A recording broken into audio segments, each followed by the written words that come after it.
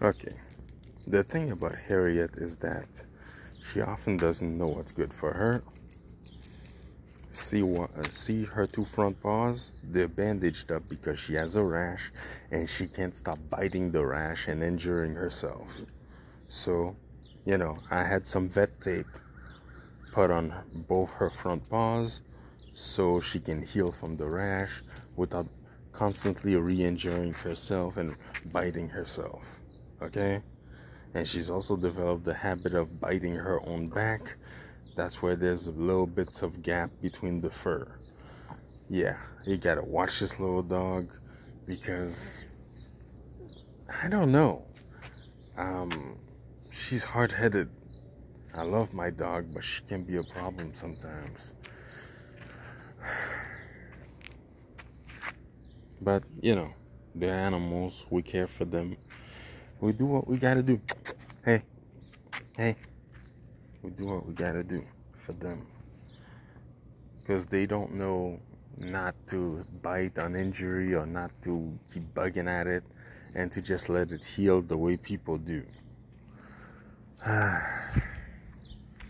Also, you might have noticed I keep her away from other people and from other dogs and cats and such. Yeah, she doesn't tolerate other people. She doesn't tolerate cats or dogs. If she sees another dog, she's gonna bark at them and get rowdy. She doesn't like most people. So, yeah, taking care of Harriet is difficult, man.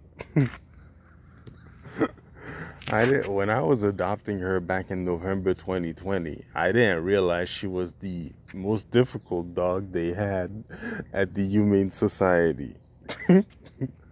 I had no idea. I thought it was just a cute little dog that I was adopting, and yeah. Oh, there's behavior issues, alright. Hey, hey. There's behavior issues, alright. Yeah. She's a little devil. I'm dead serious. She doesn't like other dogs. She doesn't like people. She doesn't like cats. I take her places where she can roam and be free, but you know, without other people and pets around. And uh, yeah. I care deeply for my dog, but she wants to be. She can be a headache at times. A lot of people would have uh, quit on her a long time ago. I'm not the type to quit. You adopt a dog or a cat, you adopt a pet, you're responsible for them for life. You should never neglect them, you should always treat them right. Yeah, I get that, and I'm holding myself onto that. But damn it, Harriet can be so difficult. and people don't know. They're like, oh, so cute. Yeah, right. hey, there's a bird. Hey, there's a bird. See? There's a bird in the distance.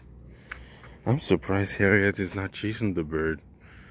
Oh, wait. She prefers to chase squirrels or something. Yeah. She prefers to chase squirrels or something.